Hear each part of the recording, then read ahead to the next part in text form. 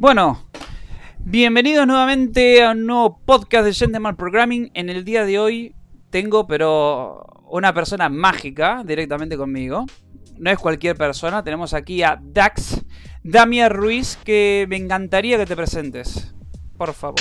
Buenas, pues me llamo Damián Ruiz. Cualquier eh, persona, Dax, tenemos aquí sociales. a Dax Perdón, Damián Ruiz, que, me encantaría que, te presentes. Pues nada, eh, soy un editor de video y filmmaker, eh, que es a lo que principalmente me dedico. Y el sector donde me muevo son, es el sector de los esports, el sector de los deportes electrónicos, el cual creo que puede ser un tema interesante para tocar el día de hoy. Verdaderamente, verdaderamente. Bueno, señor, eh, como siempre te tengo que hacer las famosas preguntas clásicas del programa. Eh, como primer pregunta, como este es un canal mucho de aprendizajes y entendimientos, me encantaría saber cómo aprendiste lo que sabes. Porque digamos que la paleta de cosas que tenés es impresionante. Tenés como un currículum ya de, de cosas para decir. Así que... A por ello. Vale, eh, en cuanto a cómo he adquirido todo el conocimiento que he adquirido, eh, a ver, principalmente ha sido de forma autodidacta. Yo realmente eh, no he hecho un, curso, por decirlo de una manera, o sea, he hecho cursos, pero no un curso típico de un grado, una carrera y nada por el estilo. al final, yo, acabé, yo estuve estudiando informática, estas microinformáticos y redes, y pues bueno, lo acabé dejando por, porque no me acaba llenando del todo. Entonces, eh, ya vaya bastantes años con el tema del vídeo. Era más que nada por diversión, por mera diversión que lo hacía. Pero eh, acabé descubriendo que me gustaba, me gustaba mucho y lo disfrutaba muchísimo. Entonces, eh, pues nada, simplemente viendo vídeos de YouTube, conociendo a la gente correcta, ¿vale? Gente que sabía más que yo y podía enseñarme, pues intentaba ya no de, forma interesada, sino en plan, pues a lo mejor le, decía, oye, mira, eh, tengo una duda, no sé cómo funciona esto, eh, me puedes echar una mano, tal. Y al final la gente suele echarse una mano entre sí. Mm, a mí cuando me preguntan algo exactamente lo mismo. Creo que el conocimiento al final no es algo que haya que ocultar, no es algo que haya que, que quitar y es algo que hay que esparcir y que todos podamos aprender lo máximo, ¿no? Eh, entonces, pues eh, sí, un poco de forma autodidacta, viendo vídeos, suscribiéndome a lo mejor a algún tipo de, suscripción tipo Artlist, que bueno, este es más actual, ¿no? Eh, en ese entonces, cuando yo empecé, eso no existía, o existía en menor medida y eran suscripciones muy caras. Pero principalmente así, en algún que otro libro también. tengo un par de libros sobre el tema. Y nada, simplemente es eso, es buscar un poco eh, sobre lo que te gusta, eh, informarte lo máximo que puedas, eh, juntarte con gente interesante que, puedas aprender muchos de ellos y al mismo tiempo ellos puedan aprender de ti y al final se basa un poco en eso. Me encanta, me encanta, porque justo el stream pasado estuvimos hablando mucho del tema justamente del aprendizaje del boca a boca, no tanto también el tema del aprendizaje por libros y creo que sos un gran ejemplo para, poder presentar que, si uno tiene la intensidad y las ganas, ¿sí? que es algo muy importante, eh, y tiene la, digamos, eh, sacarse el miedo de poder preguntar y, digamos, hincarle el diente a toda la información que hay, se puede. ¿Verdad? Eh, prácticamente, podemos decir, que dentro de poco vemos como el siguiente caso, Steve Jobs dejó la universidad, Bill Gates dejó la universidad, Dax dejó la universidad. A ver, a ver, Tampoco es así, ¿vale? No me considero tan grande como esas ni de cerca. Ojalá, ¿vale? Poder estar en una situación similar, pero obviamente ya has puesto unos casos un poco extremos. Bueno, bueno, aparte que te tiro para arriba, no me lo bajes con gomera. A ver, a ver. Eh, bueno, ahora, otra parte del aprendizaje que me gustaría preguntarte es que, ¿cómo te definirías eh, en cuanto tú eres prácticamente lees, eres teórico, aprendes eh, lo más que puedas, lo absorbes y luego lo tratas de aplicar para asentar ese conocimiento. O tratas de hacer lo, que salga eh, a medida que, digamos, vas al choque, a medida que vas eh, viendo errores, lo vas arreglando y con eso sales adelante. O tratas de, leo algo, lo aplico a ver qué pasa. Leo algo, lo aplico a ver qué pasa. ¿Cómo te definías? Vale. Eh, antes que nada, quiero recalcar que yo, por suerte, eh, soy una persona que eh, absorbe los conocimientos muy rápido. Eh, me cuesta generalmente bastante poco aprender algo. siempre y cuando encuentre los medios necesarios, ¿no? Pero obviamente, si no tienes los medios, pues se complica. Pero mi método de aprender es más que sobre. A ver, yo estoy constantemente, ¿no?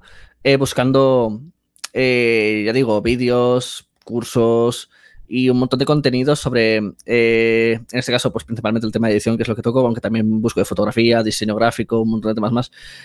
Eh, pero principalmente, eh, a medida que voy viendo ese contenido, voy probando. Eh, me meto en el programa y mientras lo voy escuchando, si es algo que se pueda escuchar o a medida que voy leyendo, pues me meto en el programa y me pongo a probar cosas. Me pongo a probar ajustes de mientras y digo, hostia, esto no entiendo por qué no funciona. Mm, reviso el contenido, ¿por qué no funciona? Intento entenderlo. O sea, no simplemente cojo y repito, sino que intento entender ese contenido desde las entrañas y qué es lo que hace, qué es lo que hace que funcione de tal manera, ¿vale? Y qué se puede llegar a hacer con eso. Y al final creo que es lo más importante, porque si tú eh, repites simplemente lo que has escuchado, lo que has visto, eh, al final no estás aprendiendo. estás, repitiendo, no estás entendiendo el concepto, no estás entendiendo eh, la lógica detrás de, eso. Entonces yo soy de aplicar, ir investigando. Muchas veces a, a ver, al final sí que es verdad que muchas veces acabas tirando de eh, ver un proyecto que ha hecho una persona y copiar cuatro cosas y cambiar, y cambiar un poco. ¿Vale? No cambiarlo completamente, cambiar un poquito, porque al final eh, hay veces que no tienes tiempo y sobre la necesidad eh, tienes que tirar por ese tipo de situaciones. pero eh, generalmente me gusta, me gusta mucho el, ir probando y cada dos por tres me suelo meter al programa. Eh, principalmente After Effects es el que más controlo.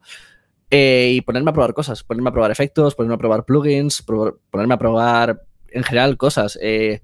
ahora me estoy metiendo bastante con, con una cosa que es el, las expresiones, ¿vale? en After Effects, que es como, dicho de forma simple, programar tu vídeo plan, es como una programación, ¿vale? Literalmente es un, lenguaje eh, de código que tú puedes utilizar para eh, hacer cosas automáticas dentro del programa. Nice, me encantó. Y es algo que eh, me mola mucho porque si lo llevo a controlar de una forma bastante extensa, sé que puede mejorar muchísimo mi flujo de trabajo. Entonces, es algo interesante, es algo que me que creo que me puede aportar mucho y es algo en lo que ahora mismo, por ejemplo, estoy, estoy informándome. Y, bueno, yo veo, a ver, empiezo poco a poco. Yo no sé programar, estoy empezando de cero, básicamente. Eh, pero eh, a lo mejor me veo un, ya digo, un tutorial, una guía, un, me leo un libro, cualquier cosa, eh, y veo un código, ¿vale? Yo no me quedo simplemente en lo que me dice, vale, este código hace esto. Eh, yo cojo y voy a probar ese mismo código en otra aplicación, o sea, en otro tipo de aplicaciones. Y ya digo, pues, vale, si funciona en este efecto, ¿qué pasa si lo aplico sobre este? Y si cambio este valor por este, ¿qué hace?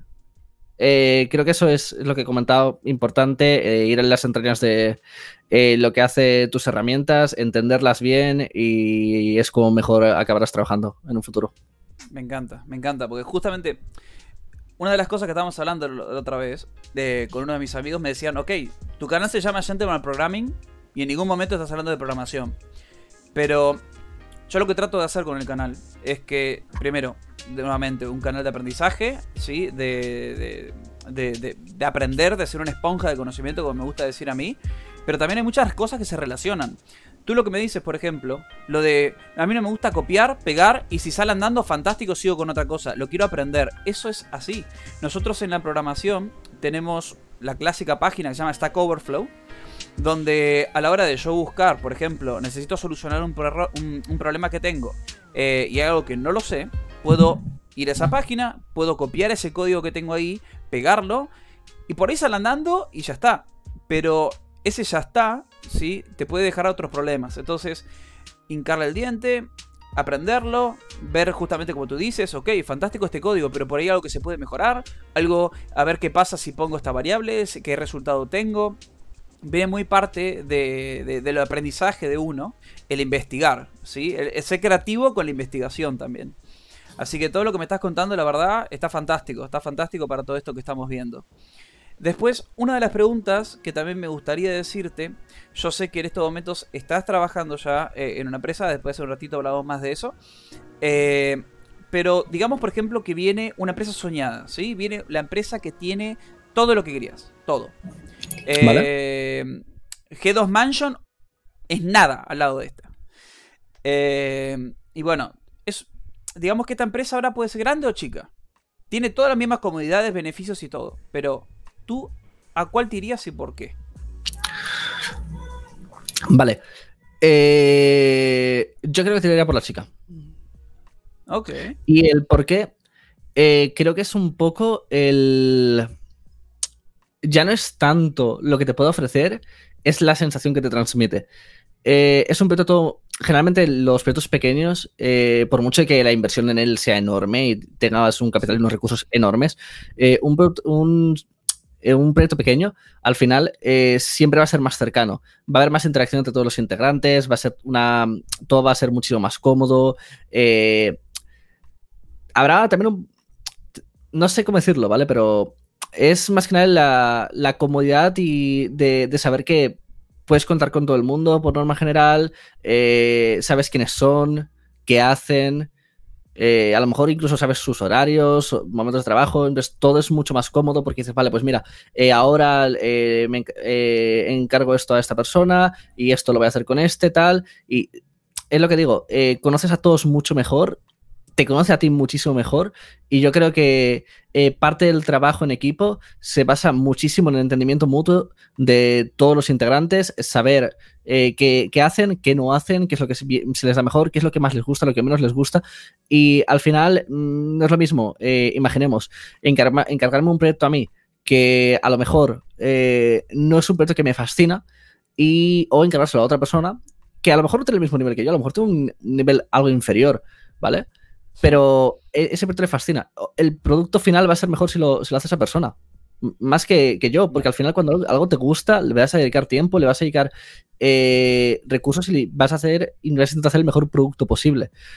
Eh, entonces, el, hecho de que todos los integrantes se conozcan mucho eh, y ese trabajo tan a mano que te proporciona una empresa pequeña, y ya no solo hecho, el, propio hecho de crecer el proyecto todos juntos, creo que es algo eh, muy cómodo y en parte un poco bonito, ¿no? El, como digo, el, hecho de que sea un, un, proyecto entre un grupo pequeñito de personas, a mí es algo que personalmente me gusta. obviamente es una situación un poco no voy a decir surreal, pero no es una situación común. Generalmente eh, un proyecto grande va a venir de la mano de un equipo grande.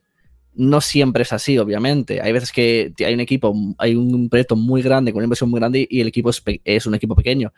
Pero eh, si estamos hablando de una situación en la que las condiciones son las mismas y simplemente la diferencia es si un equipo es un equipo grande o un equipo pequeño, pues generalmente voy a tirar por el equipo pequeño. Eh, más que nada por, como he dicho, comodidad y, el hecho de que es todo más cercano y más cómodo. Ok, perfecto. Hasta ahora, a las dos personas que le pregunté, son dos personas que van a la empresa chica. ¿eh? Algo quiere decir eso. Yo quiero hacer esa, notificación, digamos. Eh, ahora, vamos a empezar a hablar un poquitito, ¿sí? Dentro ya de, de, lo que es la charla del día de hoy. Entonces, dentro de toda ese abanico de, trabajos que tienes y, que la verdad que me gusta mucho eso de ti, es que ahora estás trabajando con esports, ¿verdad? Estás dentro del ámbito de los esports. Sí, sí. Eh, me metí hace aproximadamente dos años y es en lo que más he estado trabajando últimamente. Perfecto. Y para los oyentes que por ahí no, conocen bien el término, eh, ¿qué sería un esport? ¿En qué relaciona con un esporte tradicional? Vale. Eh, un esport, eh, por decir una manera, es la forma eh, de, denominar a los deportes electrónicos. es, la, es, la, abreviación, ¿no? la E de Electronic y Sport de pues, deporte. Hay un debate serio en si es o no un deporte, ¿vale? Debido a que tú realmente, en la gran mayoría de ellos, no ejerces tampoco una gran carga física que es relativo, ¿vale? Realmente si la ejerces, pero no te pones a correr o, a brincar o a dar saltos. Eh, pero bueno, eh, dejando ese debate aparte, eh, generalmente los esports es lo que abarca principalmente el sector de los videojuegos, el sector de competitivo de los videojuegos, pero también puede abarcar, como he dicho, cualquier tipo de, entre comillas, deporte electrónico, cualquier tipo de competición electrónica, eh, se podría decir que es un esport. Perfecto, perfecto. Ahora, tú dices que no quiere entrar en el debate, pero yo sí quiero entrar en el debate. Hay, eh, por ejemplo, eh, está la clásica, porque esto pasa también a los programadores, est- está en la clásica que dices, eh, pero te la pasas todo el día sentado y a la noche estás todo cansado. Sí, es un gasto físico muy grande. Eh, porque primero, estás pensando, estás calculando. eh, la persona que juega en videojuegos tienen problemas de ojos, tienen problemas de, de dolores de cabeza, tensiones del cuello, tensiones del Bueno, ya, ya no, ya no es solo eso. eh, fácilmente se pueden llegar a tirar 12 horas del día simplemente haciendo entrenos. Y después de eso, las otras horas del día son dedicadas a informarte sobre los demás equipos, estrategias en el- nuevas que han salido, las actualizaciones que han sido en el propio juego, eh, nuevos métodos de ganar. O sea, dedicas el 100% de tu día única y exclusivamente a eso. Pero el, el debate, ¿vale? Eh, se basa en simplemente en no te mueves físicamente. Sí. Y realmente, ¿vale? Si nos ponemos así, eh, el ajedrez en sí es un deporte y no te mueves. Muy buena. Me gustó. me Entonces, gustó. eh, ¿es deporte o no? Mm, Yo, como digo, no me voy a meter. Mi opinión es que debería considerarse como tal, debido a que tenemos otros ejemplos de deportes en los que físicamente tampoco te mueves mucho. Y miras, eh, y te pondré otro ejemplo. eh, el ping-pong, bueno, dirás, el ping-pong sí, te mueves, te mueves de un lado a otro de la. De, la, lo que viene a ser la tabla de ping-pong y mueves bastante los brazos. Pero es que tú te vas a, y ves a una partida eh, profesional de League of Legends, por ejemplo, o bueno, más de CSGO, yo diría pondría más CSGO, y lo que tú ves es que tiene una sensibilidad tan absurdamente baja en el, en el mouse, en el ratón, que acaban moviendo el brazo que parece que lo mueven kilómetros. Es una locura, en plan, mueven muchísimo las articulaciones. Y aún así, vamos a lo mismo, el, el gasto mental sobre todo, de estar tan concentrado durante tantos tiempos, durante partidas tan largas, estamos hablando de que eh, pueden tirarse eh, seis horas en un torneo, seguidas jugando. Eh, y aparte de partidas tan largas, la presión mental de, eh, por ejemplo, voy a poner otra vez el ejemplo del LOL, eh, controlar las oleadas de, de súbditos, eh, elegir qué objetivo tomar, qué objetivo no tomar, cuándo dar ventaja al enemigo en cierta situación para tú más adelante recuperar esa ventaja mediante otro objetivo que sea más prioritario. Hay un gasto mental muy grande y eso al final, quieras o no, conlleva un cansancio y pues, eh, no sé, eh, ahí estaría. Yo es lo que digo. Eh, yo lo dejo a, propia... a- bueno, no me sé la palabra ahora, pero yo creo que voy a dejar que cada uno decida lo que el si es o no lo es, pero a mi parecer debería ser considerado como tal. Perfecto. No, yo creo que es exactamente lo mismo. Hay... Me encanta, me encanta el ejemplo del ajedrez. Me encanta el ejemplo del ajedrez.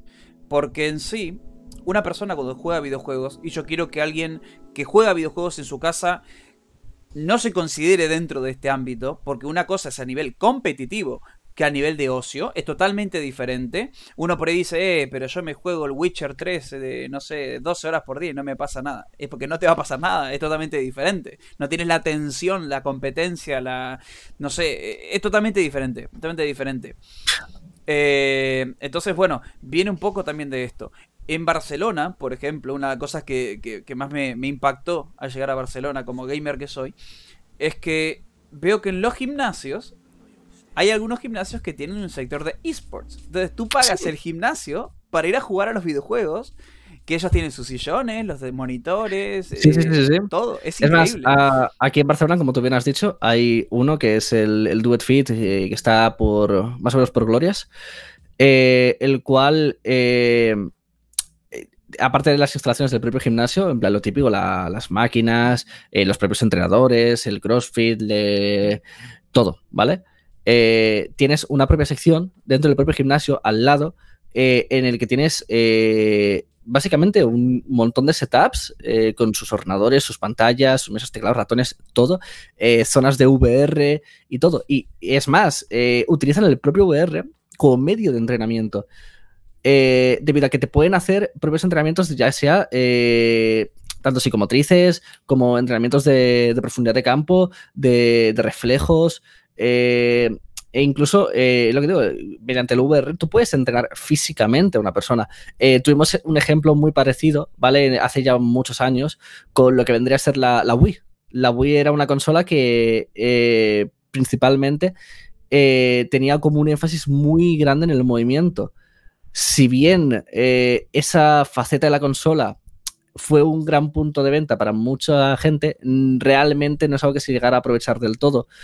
Pero ahora con el VR que puedes hacer prácticamente todo y pones a una persona en una situación em, de... en una situación a tu gusto, literalmente puedes ponerlo en cualquier tipo de situación, eh, puedes crear escenarios que serían imposibles de crear en la vida real y se pueden utilizar para lo que viene a ser eh, el propio entrenamiento en este caso.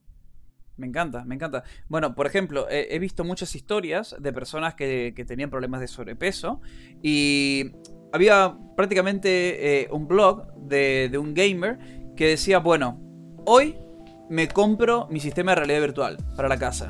Creo que se compró el Oculus Rift, se dio todo perfecto y se iba tipo haciendo como un blog día a día de, de los juegos que jugaba y cosas por el estilo.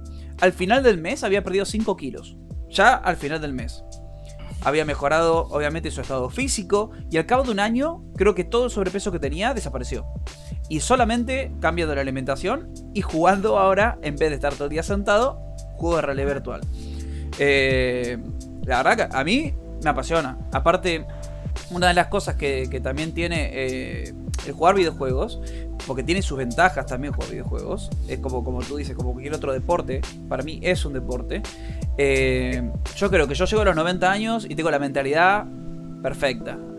Eh, en ese sentido, estás todo el tiempo trabajando la mente, ¿sí? pensando, calculando. no sé, por ejemplo, tú dices lo, de, lo del League of Legends.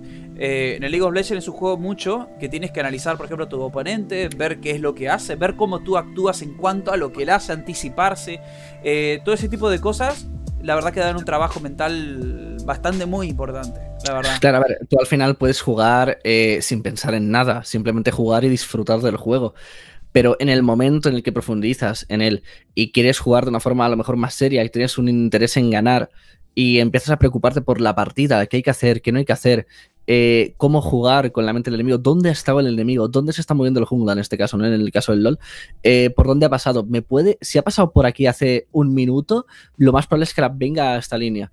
¿Sabes? Analizar los movimientos, los comportamientos, los patrones que te da el propio enemigo y jugar con ello en su contra. Eh, Claro, ahora lo digo y la gente que a lo mejor no esté metida en el sector dice, ¿qué dice este chaval? está flipando, está alucinando, ¿qué, ¿qué, está diciendo? Pero realmente, eh, si veis el, Ya no te digo es lo que digo, ya no es lo que digo jugar de forma casual, sino me refiero, la gente que es profesional de esto eh, está todo el rato analizando constante y constantemente una y otra y otra y otra vez cada movimiento en la partida y es una locura el cómo les funciona el cerebro. Eh, llegas a, ves, por ejemplo, a profesionales, ¿vale? Viendo una partida y analizándola, ¿vale? y eh, la cantidad de cosas en un minuto que te han dicho no te entran. Yo no lo entiendo. Yo aplaudo a los comentaristas de LOL, te digo. Yo los aplaudo porque la cantidad de cosas que tienen que decir por segundo, más cuando hay una pelea entre, entre equipos a la vez, es increíble. Aparte que es muy difícil analizar una, una, pelea de League of Legends porque hay muchas cosas pasando al mismo tiempo. Exacto, exacto. Ahora, justamente hablando de, equipos y cosas por el estilo, sí se puede, sí se puede. Me encantaría saber con qué teams de eSport estuviste trabajando últimamente.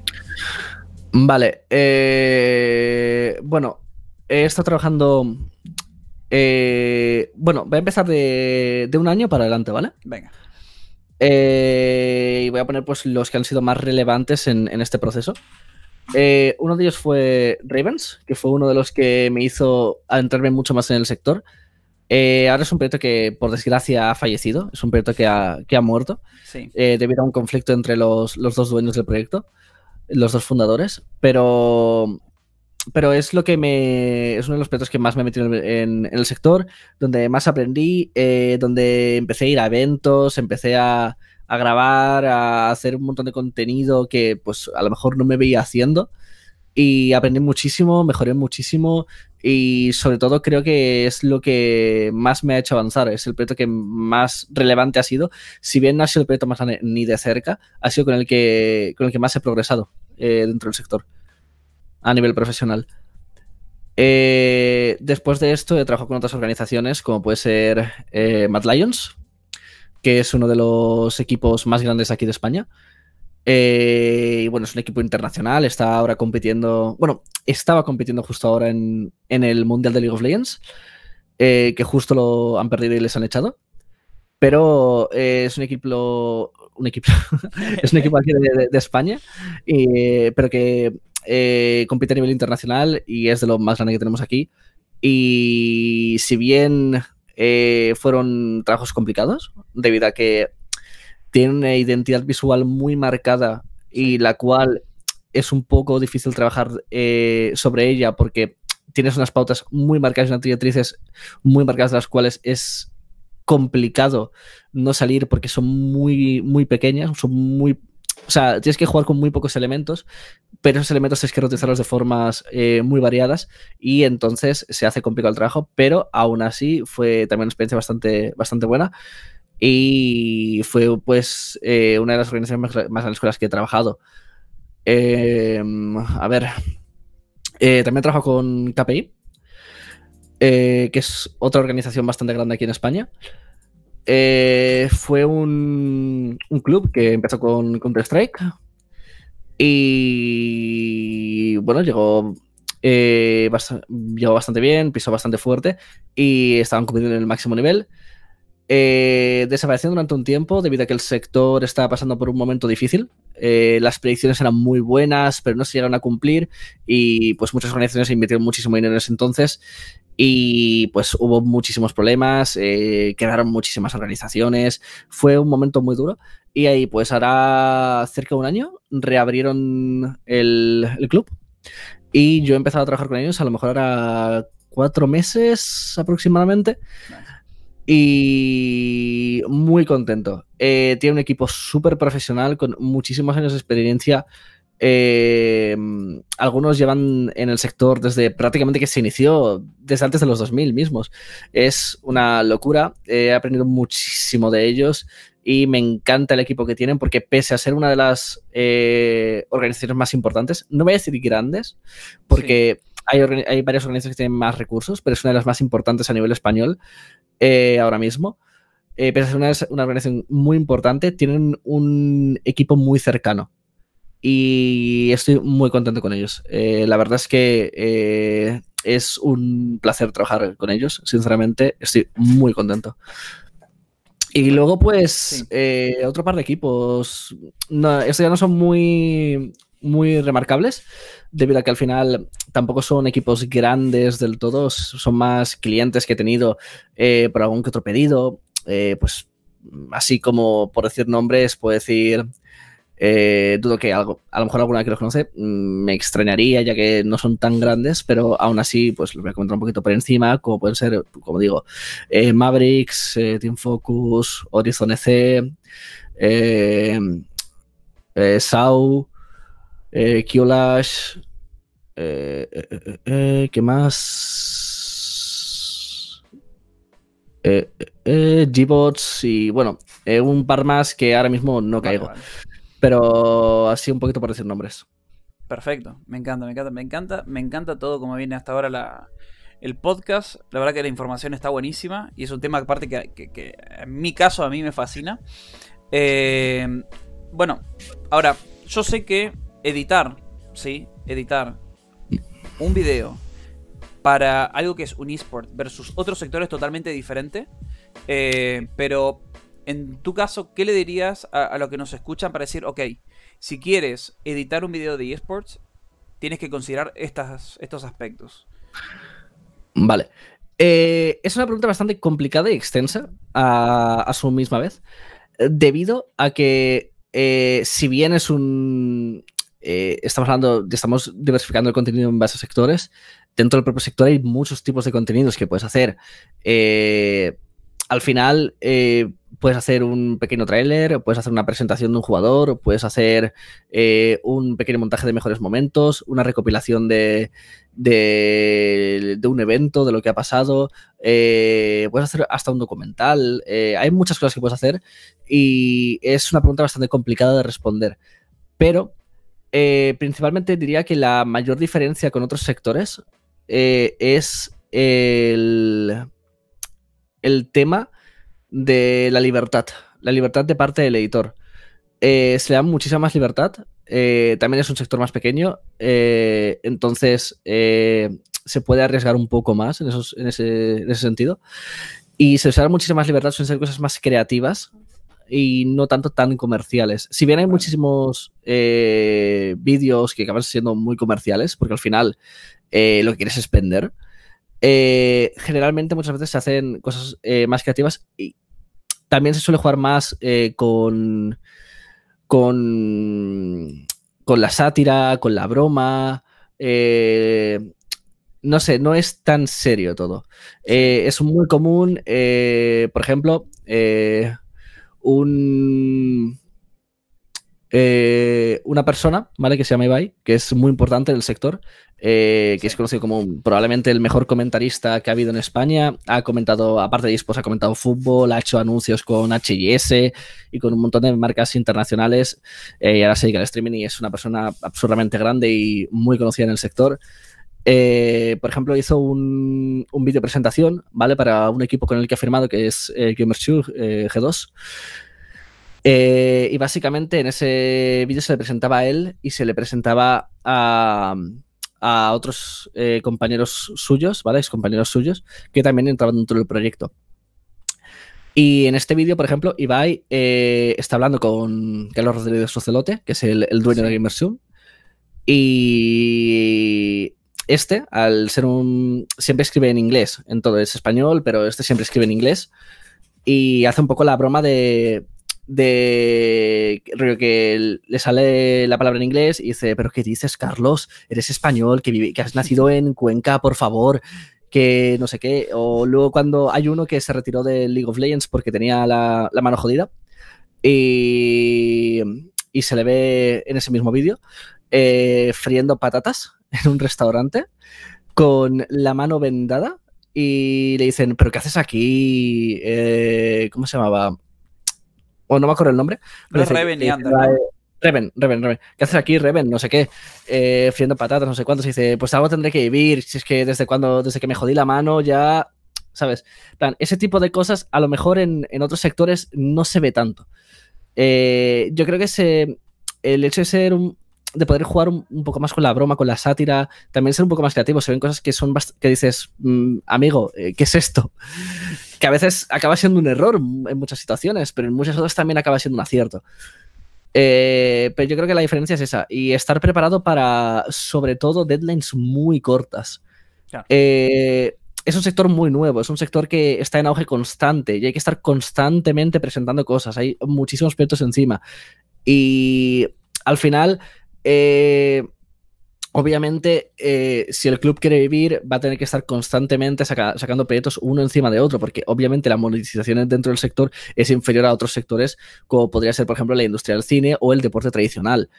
Eh, entonces se acaban sacando muchos, muchos, muchos proyectos y acabas teniendo deadlines muy cortas. Y aún así tienes que mantener la calidad y es un desafío constante el mantener esa calidad pese a los cortos plazos de entrega. Pero al mismo tiempo eh, es lo que digo, eh, el hecho de que sea todo más creativo, con más libertad, eh, puedas jugar con elementos que a lo mejor no se permitirían en, por ejemplo, la televisión, hace que pues sea más entretenido, por así decirlo, y tengas más interés en sacar el, siguiente proyecto. Bueno, eh, una de las cosas que ya mismo les invito, los que estén en Twitch eh, y YouTube van a poder ver la página de internet de Dax, sí, eh, aquí mismo. Bueno, está- no, no está terminada, pero No importa, no Intento- importa. Hay- intento sacarla adelante.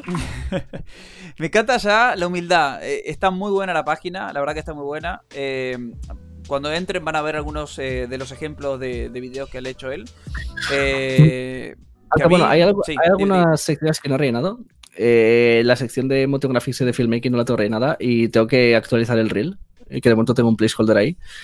Pero de momento los trabajos que he hecho sobre videojuegos y fotografía están completamente actualizados, así que si queréis revisar y ver un poquito, eh, pues ahí lo tenéis. De paso, igualmente te voy a enviar ahora un vídeo, que esto es algo que hice externo a los propios esports, ¿vale? En este caso es eh, un vídeo que hice para eh, lo que viene a ser la discoteca más conocida de, de- de Barcelona, la más grande de toda Barcelona. Y tuve que hacer un vídeo promocional para un evento, ¿vale? De carnaval que hicieron. Y creo que es un result el resultado mí no, es la- no es me de, las chicas de Dorado No, no, no, el no, champán, no, Ah, no, ese era otro. no, no. ok, ok. Ese era otro, ese era otro. Ese fue el primer vídeo, pero ese vídeo no, no me convenció. Ese video fue genial, decí lo que quieras. Por las dudas para los oyentes. El señor. eh, espera, ¿cuántos años tenés? Decile la edad. Eh, 20 años. Tiene 20 años 20 ahora años, 20 añitos. Con 19 años estaba dentro de una de las discotecas más top de Barcelona, filmando a chicas semidesnudas. Estaban desnudas, el semi era porque estaban pintadas de dorado, con champagnes que en la punta tenían fuegos, eh, fuegos artificiales. Es increíble esto. Y estuvo ahí grabando y editando. Una genialidad. Una, yo quiero trabajar Ah. ahí. Esto Bueno, es te voy a fantástico. enviar el, el Sí, segundo sí. vídeo. Este, este vídeo es un poco. Es diferente, ¿vale? Es lo mismo, un poco más creativo, me dieron más libertad y hice un par de cositas que estaban. Yo creo que estaban ahí, tiene una historia, tiene una pequeña historia detrás, ¿vale? Pero a mí me, a mí me mola bastante. Eh, Si Vale. quieres ponerlo en el mandala, mandala si podés por el canal de Twitch que, y, y comentémosla un poco, así la gente que después lo escucha en el Spotify eh, puede, puede seguir el rollo, digamos. Vale, ahí, la, ahí lo tenemos. Perfecto. Yo ya mismo lo estoy a ver. Ah, ya lo vi, es fantástico. Este es el segundo vídeo que hice para ellos. Nice. Eh, es un vídeo que este estoy bastante contento. Es diferente a lo, a lo tradicional, ¿vale? Sí. De un anuncio para una discoteca o de un vídeo promocional para una discoteca, pero a mí me gusta el resultado y a ellos también les gustó. Lástima que no se acabó publicando por problemas con el COVID. Eh, Al final la discoteca tu- tuvo que cerrar y no interesaba publicar eso porque al final no estabas promocionando nada, estabas promocionando una discoteca cerrada durante cinco meses. Eh, bueno, ¿qué quieres que te diga? No, Exacto. no interesaba eh, publicarlo, pero, pero aún así el, el trabajo me gustó bastante. Bien, pero a ver, una cosa, por las dudas. Resúmeme un cachito, más o menos la historia que tiene atrás de, eh, el vídeo y qué técnicas pudiste aplicar que te parece que este vídeo se resalta sobre los otros. Vale, eh, a ver, este un poco la historia es básicamente es un Jedi, ¿vale? Que está entrando a- al, al escenario. Hay un motion track que, dicho de forma coloquial, eh, vendría a ser eh, colocar un elemento eh, 2D o 3D, puede ser también, pero que no está integrado dentro de la propia escena e integrarlo dentro de la propia escena que se mueva con los elementos de esa propia escena y cuadre, tenga lógica. Eh, eso se ve al principio del vídeo, que es el, eh, la parte del, del reloj del Apple Watch. Y lo que intenta orientar es pues como un montón de información de como que le ha llegado algo, ¿no? En plan, Sí. eh, tiene información, le ha llegado algo, no se logra entender qué es, que es un poco la gracia, pero es como le ha llegado eh, algo de información y, y se le ve desenfundando la espada a modo de eh, me toca pelear. Entonces, entre medio hay un poco de. Bueno, hay bastantes escenas de lo que viene a ser la fiesta, gente bailando, tal, y se ven a. y se ven a unos Sith eh, con, con las armas, ¿vale? Y que se han in- como medio incorporado en lo que viene a ser la, la propia fiesta. Vale. Eh, entonces, eh, él tiene que ir ahí a limpiarlo, ¿vale? Y él como termina es, pues básicamente, eh, que entra y se encuentra allí a, a Darth Vader en miniatura. y, y bueno, eh, acaba, acaba ahí el vídeo a modo de eh, viene la pelea épica. Y ahora nos quedamos todos con la gana de la pelea épica. Efectivamente.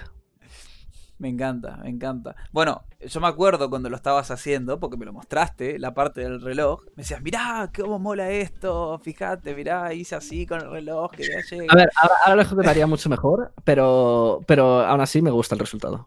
No, me encanta, me encanta. Es que esa es la idea, digamos. A ver, fue tu primer intento. Yo me acuerdo que estabas muy liado con eso, estabas muy metido. La, había hecho, la había hecho, o sea, lo había hecho, pero no tanto en, en, en vida real. La había, aplicado, había, aplicado, más el motion tracking a, videojuegos, el cual es obviamente más fácil de aplicar porque al final no es todo tan realista, no tienes que mm, poner el entorno que es tan realista, es todo más cartoon. Eh, puedes tirar a cosas con menos detalle y tampoco se va a notar raro. Bien, y pregunta, ¿para qué videojuegos has hecho videos? Y se te quedó sin batería la cámara. Sabíamos que iba a pasar. No. Sabíamos que iba a pasar. No Pasó. No hay problema. Cambia la batería y vengo. Dale, vaya, vaya. Por las dudas, gente. Mientras el señor cambia la batería aquí, eh, nuevamente están invitados. El Twitter de él es DaxArts. Se eh, perdón, eh, deletreado D-H-A-X-A-R-T-S. ¿sí? Dax Arts. Lo pueden encontrar ahí para cualquier tipo de mensaje en cuanto a trabajo o cosas por el estilo que necesiten. Nuevamente los invito a ver dax.art, que es la página de él. Está buenísima. Eh, van a ver los videos de él que son súper creativos y se aplican unas técnicas muy muy interesantes. A todos aquellos que recién estén entrando en el mundo de la edición, eh, la verdad que lo pueden tener como buen referente. Y ahora la cámara, no, ¿dónde está? Ahí está. Ahí apareciste. Ahí va, ahí va. Viene entre las cenizas el Fénix. Ahí, ahí. Démosle tiempo que se, centre la cámara. Espera, espera. Ahí, ahí. Ahora sí. Y ahora no te escucho. Ahí, ahí, estamos. Ah, ah. Vale, vuelto. Bien. es que acaba... no tenía montado un equipo, ¿vale? Para tener la cámara en el ordenador y tal. Y me ha pasado todo muy sorpresa. Tenía pensado empezar a hacer streamings y tal, enseñando un poco, eh, viendo, viendo trabajos de otras personas y dando mi opinión y de cómo creo que podrían mejorarlo, qué técnicas podrían aplicar para mejorar ese trabajo y recomendando un poquito también. Y el tema está en que, bueno, pues me estoy comandando a todo el equipo, estoy eh, ahora decorando un poco también la habitación para que sea un poquito mejor, que todo este fondo pues va a cambiar y tal. Entonces, eh, no lo tengo todo preparado y no tengo el, el cable de carga constante. Pero bueno, eh, Pero va yendo, no importa. La intención es lo que va y está perfecto. No hay problema, mister. Eh, ahora, estamos. Eh, ¿Cuáles eran los juegos con los que estuviste trabajando y cuál fue el que más te interesó hasta vale. ahora? De juegos con los que he trabajado. principalmente empecé con Call of Duty. Que hace unos años estaba muy fuerte, hasta sus cinco años. Estaba muy fuerte, es con lo que empecé, es con lo que aprendí, es como me, formé. Eh, Luego acabé continuando con Fortnite cuando empezó Fortnite, porque era lo más fuerte del momento, lo más trending, lo, lo que más tiraba.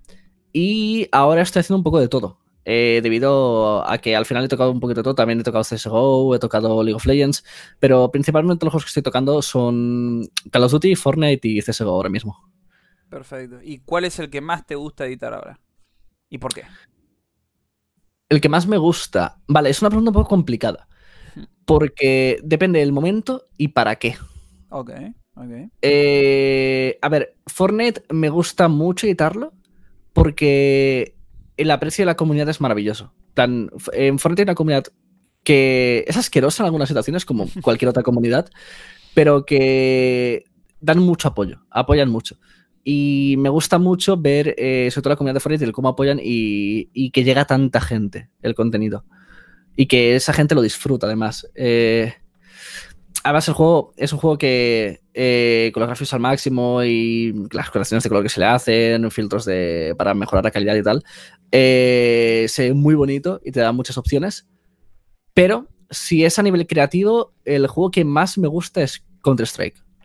De lejos, Counter-Strike es el juego que más opciones te da de lejos. Eh, puedes, por ejemplo, sacarte eh, toda la información de una partida, eh, llevártela a, un programa de 3D y hacer recrear el juego en 3D, ¿vale? Con todos los modelos, todos los mapas que lo puedes sacar del propio juego también. Y poner una muy buena iluminación, ponerle texturas en 8K que estén increíbles y lo que acabas es que el sea otro juego completamente diferente y es una locura lo que se puede llegar a hacer con Counter-Strike. Counter-Strike es un juego que me encanta, te da muchísimas opciones y es una, es una tremenda locura. Ahora bien, no es el que más me gusta trabajar. Es el que más disfruto a nivel creativo, pero no es el que más me gusta trabajar. Por el hecho de que hasta la tarea más sencilla lleva mucho trabajo. Entonces, se ralentiza mucho todo y se acaba haciendo muy pesado. Y cuando estás haciendo algo por... A ver, al final los tiempos son molestos. Si tiras mucho tiempo con una tarea, te acabas cansando. Eh, entonces, a no ser que sea un proyecto que tengas muchas ganas de hacer, eh, acaba haciéndose pesado contra Strike. Pero es un juego que disfruto mucho. Bárbaro, bárbaro. Qué interesante lo que me estabas diciendo, lo de cómo se puede re-renderizar todas las acciones que hizo un jugador dentro de... Ahora, esta herramienta que tú me dices, ¿sí? para poder simular la partida luego de que ya se, se ocasionó y todo, eh, ¿es una herramienta propia de ellos o es una herramienta que se puede descargar de un tercero? Vale, eh, te explico. Eh, el, inicio de esto es en base a una propia herramienta del propio desarrollador, que viene a ser las, las demos, las repeticiones. es un archivo que te guarda el juego de cada partida en el cual eh, se guarda simplemente la información de la partida. No se guarda en ningún momento ningún archivo de vídeo, ni de imagen, ni nada. Simplemente te guarda la información de la partida. ¿Qué, ¿Dónde estaba la gente? ¿Qué nombres tenían? ¿Con qué skins iban? ¿Con qué arma? ¿En qué momento? Minuto de la partida, segundo, eh, ronda, ¿llevaba la bomba o no llevaba la bomba? ¿Qué estaba haciendo? Plantar, caminar, correr, saltar, disparar, guardar toda esa información y luego tú, mediante programas externos hechos por gente que simplemente ama el juego y quiere, quiere llevarlo más allá, ¿vale?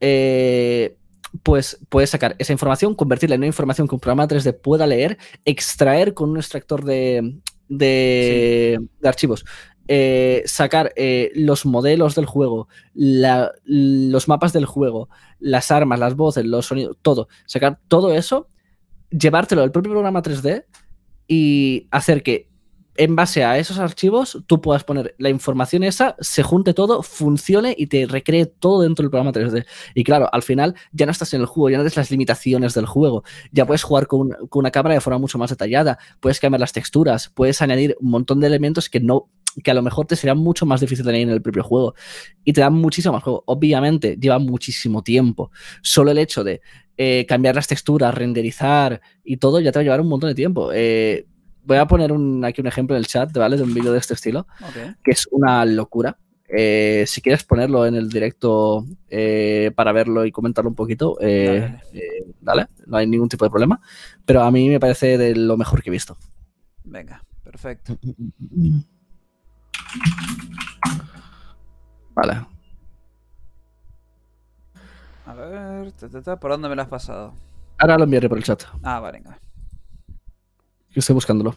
Ni un problema, no hay problema. Mientras. Vale, voy, a, enviar, el, más que el, propio vídeo, voy a enviar un vídeo que es el vídeo original al lado del vídeo editado. Me encantó, me encantó.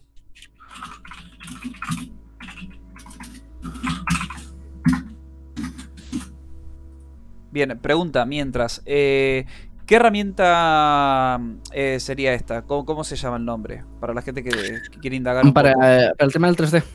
Yes. Eh, vale, aquí suelen utilizar diferentes programas. hay gente que utiliza Maya, hay gente que utiliza Cinema 4D, hay gente que utiliza Blender. y hay gente que, ojo, esto es un detalle curioso, hay gente que utiliza el propio Unreal Engine 4. Ah, hay gente que lleva eso y lo lleva a otro propio motor gráfico, como puede ser el Unreal Engine, el cual obviamente tiene unas capacidades muy superiores a lo que viene a ser mm, Source 2 de, Valve. Y que al final es un motor que en físicas está muy bien, pero está pensado para que lo puedas jugar. Tú, si tienes el. Si, tú lo. En el juego. O sea, tú lo juegas en el juego. Tú está pensado que lo puedas jugar. Si tú te lo llevas a Unreal Engine dentro del propio motor, no en el juego, da igual que te vaya como una mierda. Lo puedes cargar a full eh, y aunque te vaya mal, al final no importa. Perfecto. Perfecto. Porque no, necesitas jugarlo. Exacto, exacto. Fantástico. Pues una que se, vea bonito. Vale, le envío por aquí. Ok. Uh... Ponle en el stream, yo lo, voy a ir viendo. Eh, si eso, irá con un poquito de delay, pero. No importa. Eh, espera que lo siga abriendo. Son tres segunditos y le como mucho, así que es suficiente. Ok, aquí lo tengo. Dame un segundito más. ¿Vale? Pum, pum, pum. Ok.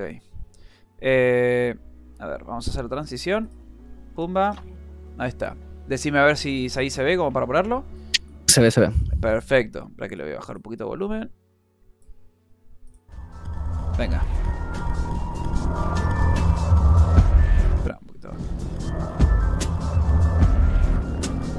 Y...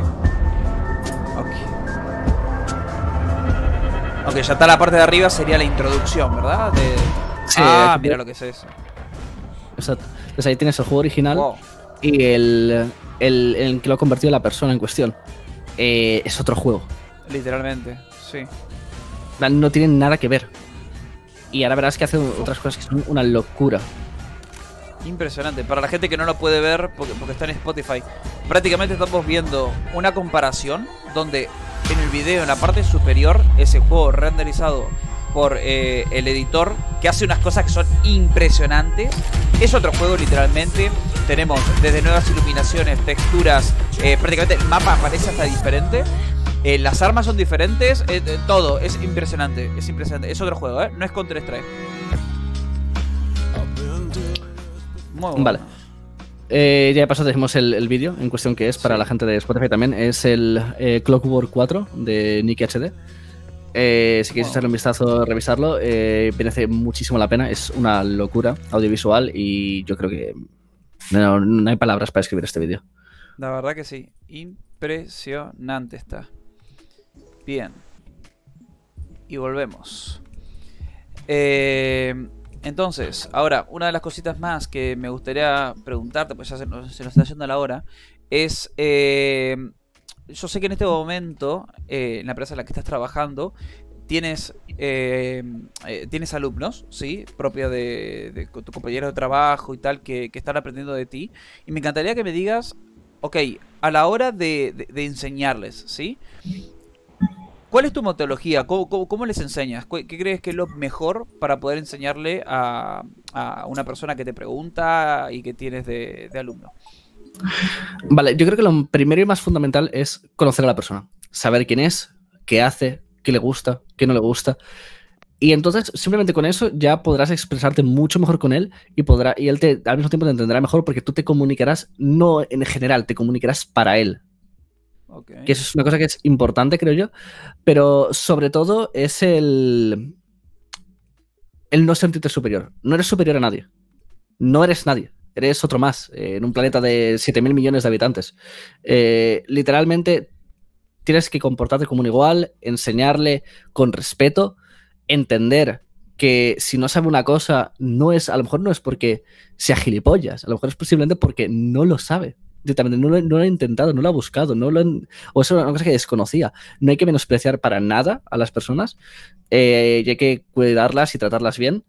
Eh, no hay que, obviamente, no hay que elevar- elevarles la voz de, a ver, es un inútil, ¿cómo haces esto? Obviamente, a mí me lo han llegado a hacer en varias situaciones y mm, no es una buena manera de trabajar, es muy incómodo para la Sí. persona y te sientes muy mal eh, cuando te hacen eso. Entonces, eh, siempre hay que cuidarlos bien. No te digo que les vayas y les, y les digas, hola, buenos días, ten aquí eh, la taza de café para ti. Tampoco. y seas su súbdito, pero porque no es así. Pero eh, No, tiene que ser. súbdito tuyo, que él te la trae. Claro, esa, eh, No, pero tiene que ser una relación desde el respeto, ¿vale? Y tiene que él respetarte también. O sea, tú tienes que conseguir que él te respete, en este caso, como artista. No que te respete como su superior, sino que te respete como artista. Entonces estará muchísimo más dispuesto a aprender de ti, querrá, querrá aprender muchísimo más de ti y estará muchísimo más interesado en lo que tú le puedas enseñar. Lo mismo pasa en cualquier sector, en la propia programación. Te tiene que respetar como programador, le tiene que gustar el trabajo que haces, tienes que eh, enseñarle, ¿vale? Tú también con respetándolo a él también, entender que también él también es un programador, él también tiene su, a lo mejor su, su forma de trabajar, que a lo mejor es diferente a la tuya, y no por eso es, es, peor. Eh, y entender lo que digo, eh, cómo trabaja él y ponerte en su situación y enseñarle como si eh, tú fueras él y quisieras que tú mismo te enseñaras. Es un poco raro de explicar, pero eh, lo que quería es, tú ponte en su situación y cómo te gustaría a ti que te explicaran. Pues haz exactamente eso. Me encanta. Es que es, tal cual, ¿eh? Aparte, para, para agregar un poco más, eh, es incontable la cantidad de veces que tú vas a aprender también de él. Porque por ahí. No, clarísimamente. Yo he aprendido muchísimo de mis alumnos. Muchísimo he aprendido de mis alumnos. Es una locura la cantidad de cosas que he aprendido. Y al final, eh, un alumno no es inferior a ti, sabe cosas diferentes a ti. Exacto. A lo mejor tú le estás echando algo, porque él no conoce ese algo, pero él lo más probable es que también conozca algo que, de lo que tú no conoces. Y eh, al final es una relación de dar-dar. Eh, la idea es lo que es lo que digo, que os respetéis como profesionales que sois, en este caso, como he comentado en, mi sector, como artistas que sois, ¿vale? E intentéis aprender y eh, de cada uno lo máximo del otro. Eh, al final, si tú muestras interés en, lo que él hace, él también va a mostrar interés en lo que tú haces. Me encanta. Qué, qué buena onda. Ah, es que todas estas cosas que tú me estás diciendo es muy, muy particular de cosas que yo también hago. Así que. Eh, no, se puede aplicar a cualquier ámbito esto. Eh, es así, se puede ir a cualquier ámbito. Eh, el aprender es humano. Y nuevamente, gente, la gente que tiene que, que estar enseñando algo a otra persona, presta atención a esa persona. Porque por ahí uno está tan liado con cosas, está tan ocupado con cosas, que por ahí no tenemos el tiempo de aprender. Y esa persona, que en este momento su principal función es aprender, por ahí te puede traer un nuevo conocimiento que tú no tenías. He conocido mucha gente que es la clásica. Eh, trabajo hace 40 años de lo mismo y usa técnicas de hace 40 años. ¿Por qué? Porque toda la vida lo hizo así, toda la vida eh, aplicó exactamente lo mismo y no quiere cambiar.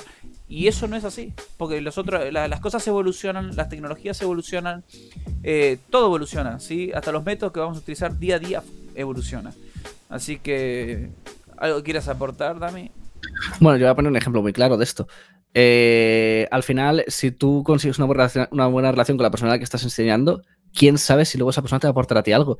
Ahí me ha llegado a pasar de. Por ahí se casan eh, gente con esa persona, ¿no? De, que literalmente eh, el que fue mi alumno durante dos años prácticamente. Eh, ahora mismo está en una mejor situación que yo, viviendo, se acaba de ir a, ir a vivir a Berlín, y el compañero siempre está hablando conmigo, eh, me, está adentrando cada vez más en, el sector y me va enseñando muchísimas cosas y siempre que tiene cualquier cosa que a lo mejor no puede hacer, me lo acaba relegando a mí, porque confía en mí, me conoce, sabe que trabajo bien, yo sé que él trabaja bien y ya hay una relación ahí construida entre nosotros. Y a mí ahora me está aportando yo la aporté en su momento, pero es él el que me está aportando a mí. Obviamente, si él tiene cualquier problema, yo sigo aportándole a él. Al final es, un, es lo que digo, es una relación de mutuo beneficio. Perfecto. Muy bueno, muy, muy bueno. Y lo mismo, si tienes gente que está debajo tuyo, mm, es porque esa gente va a hacer tareas que tú a lo mejor no puedes hacer porque no tienes el tiempo o estás en tareas más importantes, pero son tareas bajo tu nombre. Si esa persona hace bien esa tarea, a ti también te beneficia. Exacto. Entonces te interesa que esa persona haga bien la tarea, ya no solo porque luego te pueda aportar algo, sino por el simple hecho de que el hecho de que esté debajo tuyo significa que es tu, responsabilidad. Y si tu responsabilidad lo hace bien, directamente tú lo estás haciendo bien. Muy bueno, muy bueno. Ahora, para terminar, te pedí, porque sé que tienes muchas anécdotas para contar, te pedí antes del podcast que pienses dos, una buena y una mala. ¿Por cuál te gustaría empezar? vale, creo, voy a comentar una graciosa. Ok. Y otra que me quería pegar un tiro en la entrepierna. Venga. Empezamos con la mala. Empezamos con la mala. ¿Vale? Eh, a ver, básicamente eh, fue hace un año más o menos, año, año y medio, y yo estaba haciendo eh, lo que vendría a ser un documental para Radio Televisión Española, que es una de, es una de las cadenas de televisión nacionales aquí de España, bastante grande, bastante importante dentro de España, y tenía que hacer un documental sobre el tema de los esports y fuimos a un evento completamente pagado, nos dejaron un equipo de 30.000, 40.000 euros, una locura, equipo buenísimo eh, y fuimos ahí a grabarlo eh, yo y un compañero. Eh, el compañero este no lo conocía, digo compañero pues porque básicamente era mi compañero de trabajo en ese entonces, ¿no? en, ese proyecto. pero bueno, grabamos todo, eh, nos esforzamos muchísimo, dimos el mejor, lo mejor de nosotros, tres días de constantemente arriba, abajo, por todo el evento, moviéndonos sin parar, llevando a lo mejor 20, 20 kilos en, en, equipo encima, en la espalda, constantemente durante 10 horas cada día. Eh, y arriba para abajo, o sea, a lo mejor hicimos eh, cada día unos 50.000 pasos. ¿Tenías el Claro, Xiaomi ver, Band ahí? Me mata, me motiva, me motiva. 50.000 es mucho, pero 30.000 pasos sí que los hicimos Bien. ¿Y qué pasó? por día. Era una locura. Eh, bueno, pues eh, terminamos todo, termina el evento, todo perfecto. Unas grabaciones increíbles, una calidad absurda, era maravilloso. Era la situación ideal. Pero, bueno, vamos ahí, llegamos a la casa eh, y nos ponemos a celebrar. Eh, bueno, estábamos en una casa junto a un equipo que era también el que principalmente íbamos a filmar, ¿vale? Que era los principales exponentes y de la entrevista y tal.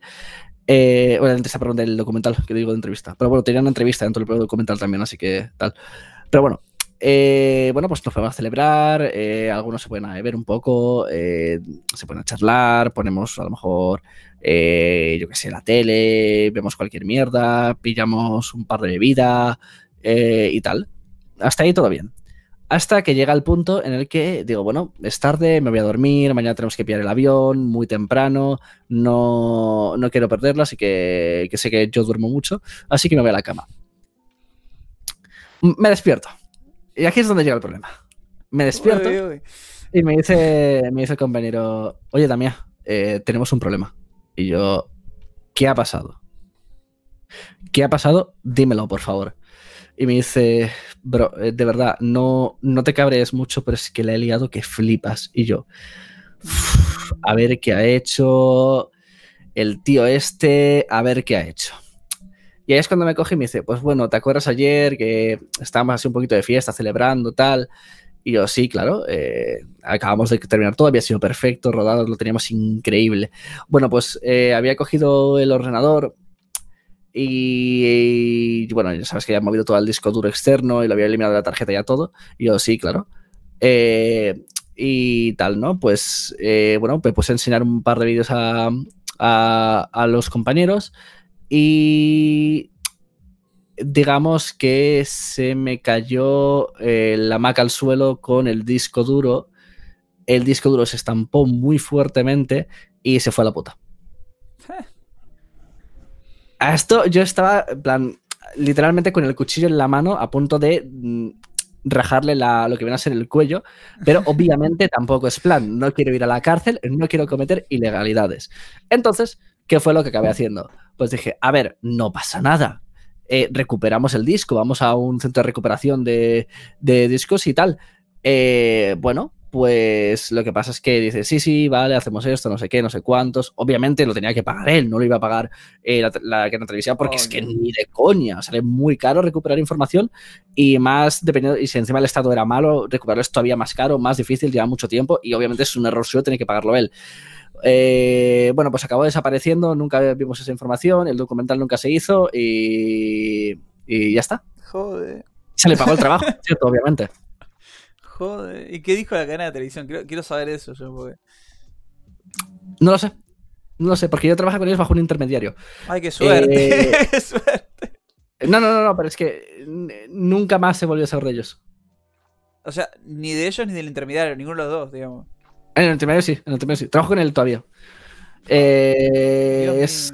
Es un compañero que es de los que, con los que más he trabajado. Llevo trabajando con él dos años y estoy muy contento Sí. con él. Sé que. eh, es que, a ver, te comento. El, el, el- No hubo problemas porque él se lo comentó todo al director de la cadena, que es amigo suyo. Y entonces no hubo, a ver, obviamente hubo problemas porque fue una inversión grande. Estamos hablando de que a lo mejor era un proyecto de 100.000 euros. Claro. Eh, no es muy elevado, 100.000 euros no es poco dinero. Mi Dios. A lo mejor se nos hace poco dinero para una, para una eh, pensamos televisión y pensamos millones, ¿no?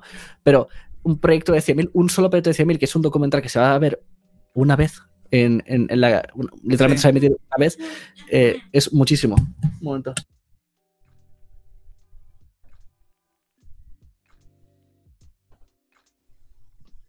Vale, he vuelto. Eh, pues es un, era un proyecto pues, bastante importante, con su buena inversión y claro, eh, si vas a sacar retorno de ello está bien, pero si pagas esos, si te gastas esos 100.000 euros y, y no llega nada, eh, es como, bueno, eh, ¿ahora qué? Dios mío. Dios Claro, mío. eh, querían arrancarle la cabeza. Sí, sí, sí, me imagino. Uf. Y bueno, luego, voy a contar otra muy rápida Dale, de cómo a esta misma persona le hicieron una putada muy similar. Y era, contrataron a unos fotógrafos para una sesión de fotos, ¿vale? Eh, para un club que estaba llevando él. Y pues bueno, los fotógrafos hicieron su trabajo, hicieron las fotos, no sé qué, todo perfecto, ¿vale? Eh, le prestaron equipo. El mismo tipo, este, el director de la. de la. de, la- de RTV, les prestó equipo. Equipo caro, les prestaron como 10, 12 lentes, muy caras, eh, para que pudieran hacer su trabajo de la mejor manera posible. Y mm, para que os hagáis una idea, una lente, un objetivo de, de una cámara puede fácilmente rondar los 800, 1200 euros cada una. Entonces, viene el tío, le deja las, le- deja las lentes, deja todo el equipo ahí, todo perfecto. Como también les dejaron unos focos de como 300 euros cada foco eh, y un montón de cosas más. Y bueno, eh, ¿sabes qué acaba pasando? No me digas que Desapare- perdieron las lentes, se le robaron. No, no, no, no. Desaparecieron, desaparecieron con el equipo. No. Desaparecieron no, no, se fueron. Desaparecieron y el equipo y el- se lo llevaron. Y no, no se supo nada más de ellos. Mi Dios. Mi Dios. Pero el resultado lo tienen, por lo menos. Sí, sí, las fotos están. por lo menos. No, no, no, miento, miento, miento, miento. No están. No están las fotos. Uh, No están, porque encima hicieron el, el- el- la 13 y 14, era rollo, eh, o nos pagáis no sé cuántos, eh, una absurda cantidad de dinero, rollo, en plan, eh, acordaron un pago, sí. las dos partes, y iba todo perfecto, no era un pago pequeño además para el trabajo que era, porque Sí, era, una sí, sesión, era una sesión de un día de unas cuantas horas. Eh, y además ni siquiera con su equipo, era con equipo prestado, ¿sabes? Que generalmente el hecho de que sea tu equipo siempre cobra- cobras una plusvalía por eso, porque al final a ti te ha costado dinero ese equipo, ¿no? Exacto, exacto. pero, era con equipo prestado además. Eh, y les pagaron una, no una pequeña cantidad de dinero, una buena cantidad de dinero por esa sesión, creo que eran como 600 euros por la sesión de, una sesión Sí. de dos horas. Es, no está mal, está de puta No, madre. Ojalá, ojalá me dieran, una, sesión, una sesión de 600 euros ahora mismo. Fir- ¿Dónde firmo? Dádmela ahora mismo, ahora. ¿No? Pero bueno, em, pues eh, cuando acabaron, eh, tenían todo el resultado y les dijeron, no, no, o nos pagáis 12.000 euros o no os damos las fotos. O sea, no te damos ni las fotos ni los objetivos. Ni No, no, no, no. El equipo supuestamente todavía no lo habían robado. O sea, lo tenían que devolver, pero no, no lo habían robado. No sabía que lo habían robado. entiendo. Entonces, dijeron, ni de coña. O sea, es que ni de puta coña, estáis troleando. estáis- ¿qué- ¿Quiénes os creéis? ¿Qué, qué sois, putos gilipollas? Eh, bueno, pues cogieron y hicieron, pues bueno, nos vamos. Desaparecieron y se llevaron el equipo. Dios mío. Ay, es lo más, es lo más, eso, eso es lo más surrealista que he visto jamás. Porque rollo, ¿qué haces? Obviamente, no sé qué habrá pasado, pero estoy 100% seguro que el equipo lo han recuperado y se han, llevado una, se han llevado una multa de tres pares de narices, lo más seguro. Pero, pero es surrealista. Ahora, qué buena onda que es el director de la cadena, porque vive prestando cosas. que sepas que el documental vino después de, de lo del equipo que te he dicho ahora. Ay, Dios, o sea, pobre tipo. De- En su casa todo se mal, escucha esto, está con todo un mal, whisky todo mal, puro en todo la mal. mano. Dios todo mío. mal, todo mal, todo mal, todo mal. Todo problemas. Es increíble. My God. Bueno, eh, dejando esto, eh, luego, Sí. pues bueno, de, voy a contestar la, voy a decir la, la- la buena, ¿vale? La- bueno, no es buena, es graciosa. Y es eh, en uno de estos vídeos que hice para, para Pachá, para la discoteca. eh, bueno, pues yo digo, bueno. Saliste con la chica bañada en oro, yo sabía. ¡Qué grande! ¡Vamos! ¡Qué Vale. grande! Vale, vale. no, no, no, no es eso. Eh, bueno, básicamente lo que pasó es que. Bueno, sí que es verdad que hubo, hubo, hubo un par que se me insinuaron, pero yo era como. ¿Viste, viste, viste? Relax, estoy, estoy trabajando, dejadme. Buena, profesión. El trabajo, el trabajo es sagrado. Nada, a mí, para mí el trabajo es sagrado.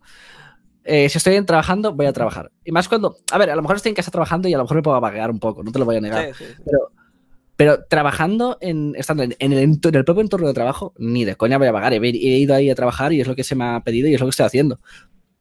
No me voy a poner a, a, a, a con una tía, ni de coña. Pero bueno, eh, básicamente eh, lo que pasó es que, bueno, digo, vale, ok, eh, hemos un poquito todo, tengo media hora de descanso. eh, voy a. Me tomo un agua porque obviamente no voy a beber. Por mucho que estuviera en una discoteca y me ofrecieran beber, no voy a beber porque me pagaban. La bebida me la pagaban, obviamente. Eh, pero no, obviamente no iba a beber, estaba trabajando y pues me pidieron un agua. Eh, termino agua y digo, hostia, tengo ganas de ir al baño, no sé qué.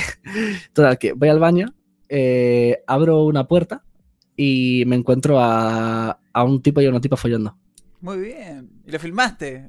Como para no, documentar, ¿no? Para, no para llevaba, la publicidad. No, de... no, llevaba, no llevaba la cámara, no llevaba la cámara, pero, pero fue, fue algo bastante, bastante gracioso.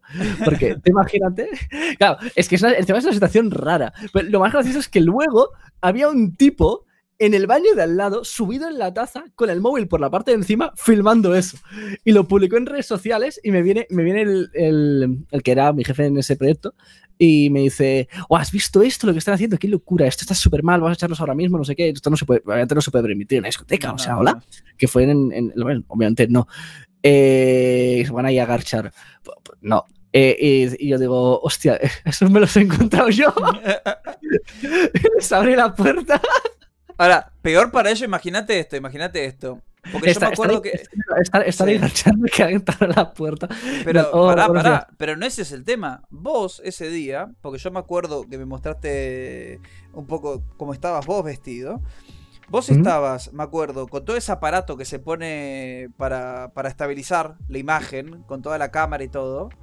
¿Te acuerdas? Imagínate. No. eh, No, no, no, no, ¿cómo no, no. que no? No era ese día, no era ese día. Ah, Eso no Imagínate un tío que te abra la puerta, tú estás ahí en plena acción y aparece no una persona cualquiera, una persona con todo, un dispositivo, Con- con- arnés sí, sí, con- armado, con todo el cámara de arnés ahí, filmación. sí. No, no, no, no, no. Eso- ese, ese proyecto se hizo con muy poco equipo. Lo hice con, mi, con mi propio equipo y, y llevé lo, lo mínimo posible porque a mí me gusta cargar el mínimo equipo posible. Eh, soy de los que prefiere llevar el equipo justo y necesario y no llevar de más, sobre todo porque al final llevar equipo pesado te lastra. Sí, aparte de estar toda la noche filmando con todo un equipo No, pesado en la disco con una, calor. una- y- no, no, no, no, una noche con calor, una, o sea, una noche en pleno verano en la discoteca, con gente bailando, alcohol en el suelo, porque obviamente Sí. se cae el alcohol en una discoteca, es normal, pasando entre grupos de personas enormes, en plan que costaba pasar a veces, obviamente Sí, no sí. es la situación para llevar un, un equipo pesado y grande además, llevar el equipo más pequeño posible. Exacto. Dios mío, qué anécdotas, mister. Qué anécdota. bueno, eh, algo que quieres decir antes de terminar el podcast. ¿Cómo- Primero, preguntas de mi lado. ¿Cómo te sentiste? ¿Estuviste a gusto? ¿Te gustó? ¿No te gustó? Pues estoy bastante cómodo. Me gustó, me gustó, me gustó. Fue, fue bastante entretenido. Me ha gustado. Ha estado bastante bien. Eh, creo que me he expresado bastante bien. Pese a que en algún momentos me, me reía un poco, me traba un poco, pero creo que me he expresado bastante bien. Ha sido un podcast entretenido. Y hemos hablado de temas que a lo mejor no se hablan tanto, no son temas muy comunes. Eh, además que, bueno, ya sabes que a mí me encanta hablar contigo. eh, y eh, no sé, me lo he pasado, me lo he pasado muy bien. Eso sí, quería decir una cosa, promocionar una pequeña cosita. Ver, Y es eh, que estamos a nada de conseguir el afiliado en Twitch. Eh, cuando, cuando lo tengamos, eh, espe- esperamos que sigáis disfrutando de este maravilloso programa que hace mi compañero Alan. Y nada, simplemente eso. Un beso. Yeah. Bueno, gente, eh, espero que les haya gustado. Vamos a tener más contenido así. Damia obviamente va a volver en algún momento. Vamos a hacer un jazz chilling por ahí. Eh, así que, gente, atentos a la, no- a la noti. A esa noti que dice Gentleman Programming is live. ¿eh? Así que bueno, muchísimas gracias Mr. Dax por estar con nosotros. Y... Habemos, gente, nos vemos. Adeu.